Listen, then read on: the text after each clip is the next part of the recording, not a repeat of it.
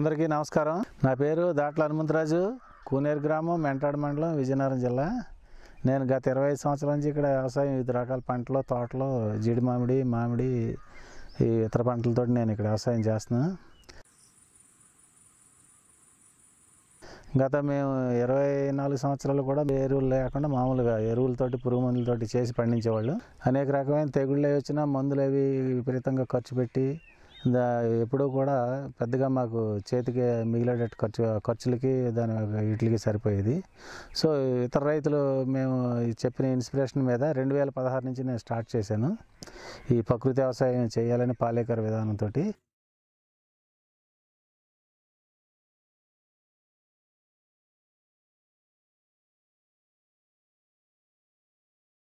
నాటు ఆవులని రెండు ఆవులు తీసుకుని మేము షెడ్ అది కట్టుకుని మలమూత్రాలు అవి కలెక్ట్ చేసుకుని స్టోర్ చేసుకుని మేము వివిధ రకాలైన కషాయాలు తర్వాత ఈ పంచగవ్య ఫిష్ యాసిడ్స్ అని అలాగా ఒకే రకమైన దాని మీద ఆధారపడకుండా ప్రోగ్రెసివ్ ఫార్మర్స్ వేరే వేరే రైతుల దగ్గర కూడా మేము సమాచారం సేకరించుకుని వివిధ రకాలైన ఉత్పత్తులు కూడా మేము సొంతంగా నేనే తయారు చేసుకుని బయోఫెర్టిలైజర్స్ కానివ్వండి కషాయాలు కానివ్వండి గ్రోత్ ప్రమోటర్స్ కానీ మేము చేసుకుని ఇక్కడ సక్సెస్ఫుల్గా చేస్తున్నాను.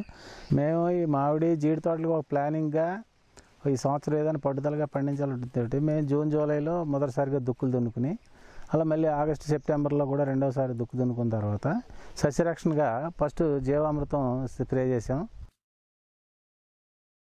న్యాచురల్ ఫార్మింగ్లో చేయటం వల్ల జీవామృతం ఇవన్నీ కొట్టడం వల్ల ఎక్కడ ఏ విధమైన మచ్చ లేకుండా కాయలంతా కూడా చాలా నీట్గా వస్తున్నాయి. ఇంత రెండోసారిగా పంచగవ్య దీన్ని మామిడి తోట జీడి తోటలకి స్ప్రేయింగ్ చేసాం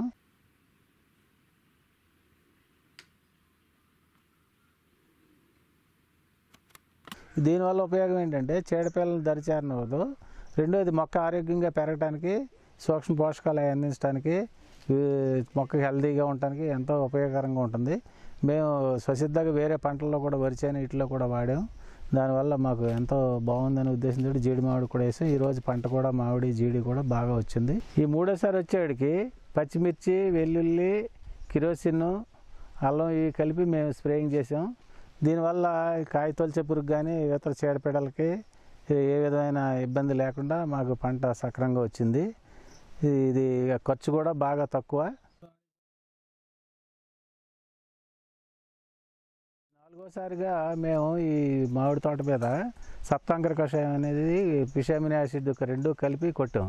దీనివల్ల ఉపయోగం ఏంటంటే కాయలో మంచి తీపిదనం పెరిగి రెండోది టేస్ట్ బాగుంటుంది. కాయ సైజు పెరగడానికి అన్ని రకాలుగానే ఉపయోగపడుతుంది. పూర్వం ఇంత అలా కాపు వచ్చేది కాదు. వచ్చినా కూడా గజ్జి గజ్జిగా ఉండి మార్కెట్ రేట్ అంత వచ్చేది కాదు. ఇప్పుడు దీని ఉండటం వల్ల ఈ మా కాయలు చూసి కూడా మాకు ఇవ్వండి అని చెప్పేసి కన్జ్యూమర్సే మమ్మల్ని అడుగుతున్నారు. అంచేత ఈ పద్ధతిలో వేయటం వల్ల మాకు సిక్స్టీ పర్సెంట్ ఎక్స్పెండిచర్ తగ్గింది. ఎరువులు వాడటం వల్ల పురుగు మందులు ఇవన్నీ ఎక్స్పెండిచర్ డౌన్ అయింది కాబట్టి మాకు ఆదాయంగా కూడా బాగానే ఉంది. ఇదివరకు వచ్చే మేము ఇరవై వేలు పదిహేను వేలు అలాగ వచ్చేది రెండు ఎకరాల తోట మీద. ఈ సంవత్సరం మాకు నలభై వేల రూపాయల దాకా ఆదాయం వస్తుంది.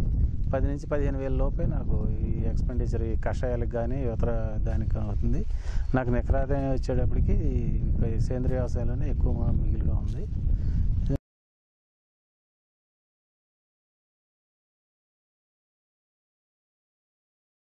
మేము మా వ్యవసాయంలో ముఖ్య భూమిక పోషించేది ఈ ఘనజీవామృతం బదులు మేము ఈ గత్తాన్ని మాన్యం కల్చర్ తోటి డీకంపోజ్ చేసుకుని దీన్ని ఉపయోగిస్తున్నాం. మామూలుగా అయితే ఐదు టన్నులు ఇవ్వాల్సిన వ్యవసాయానికి ఒక టన్ను తోటి ఇది దానికంటే బాగా పనిచేస్తుంది. మేము ఈ సంవత్సరం నుంచి ఇది వాడటం వల్ల కూడా మనకి చెట్లు మొక్కలు ఆరోగ్యంగా ఉంటాం పంటలో దిగుబడి పెరగడానికి కూడా మాకు ఇది ఒక ముఖ్య కారణం. గ్రామంలో ఈ కూనేరు గ్రామంలో నేను వ్యవసాయం వ్యవసాయ శాఖ అధికారులతోటి వివిధ వివిధ రైతులతోటి నేను చర్చలు జరుపుకుని వాళ్ళ ప్రోత్సాహంతో వాళ్ళ సూచనల సలహాలతోటి నేను చేయడం వల్ల నాకు ఎంతో ఆనందంగా ఉంది. మా తోటి మా ఇక్కడ పనిచేసే పని వాళ్ళు కూడా రైతులు కూడా ఇదివరకు పురుగు మందులు కొట్టి హాస్పిటల్కి తీసుకెళ్ళి అనారోగ్యం పాలయ్యేవారు.